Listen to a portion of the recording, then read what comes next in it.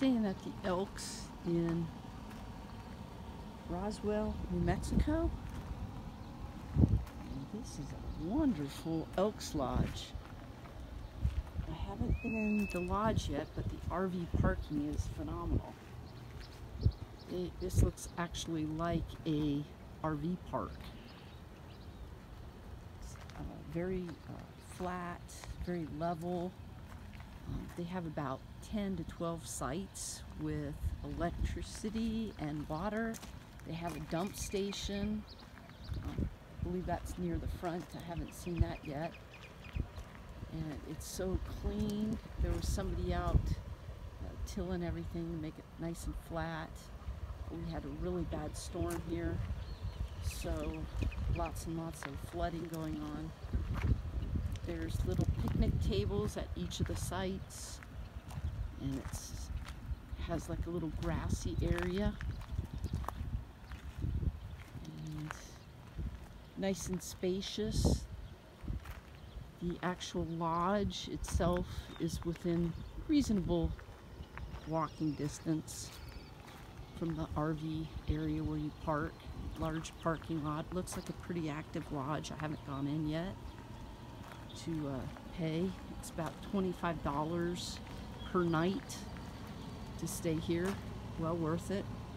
Uh, tree for shade, and it's next to a school.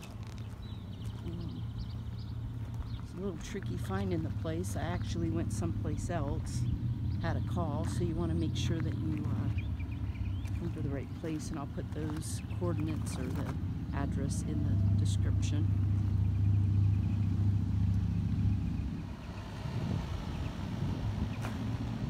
there's quite a bit to do here in Roswell, New Mexico. We have a lot of nice restaurants. I haven't checked them all out yet, but um, we'll do that here shortly. It looks like a storm is coming through.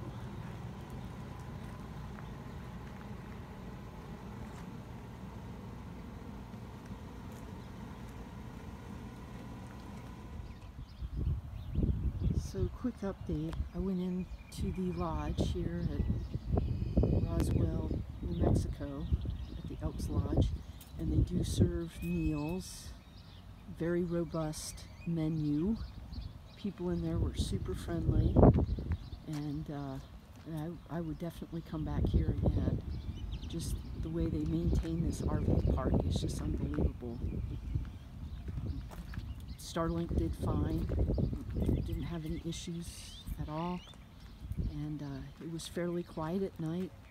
Um, there are some dogs in the area um, so you want to you do hear some dogs barking but you hear those in RV parks or in your your neighborhood but anyways um, other than that I would highly recommend the place and thanks for watching.